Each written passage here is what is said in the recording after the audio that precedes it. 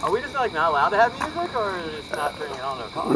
No, just nobody didn't do it. If I did, I was going to bring.